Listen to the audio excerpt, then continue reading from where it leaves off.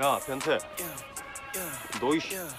남자 데리고 어디가? 그 사람 잘못 썼는데 이름 봉예분 나이 서른다섯 직업 수의사 정가 김영사님? 어 안녕하세요. 어 좋기도 오랜만이다. 나 형사님 오랜만이야 어제 봤는데? 다들 바쁘신데 얼른 가세요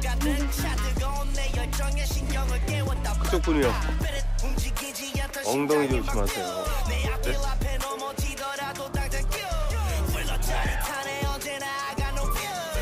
무슨 소리야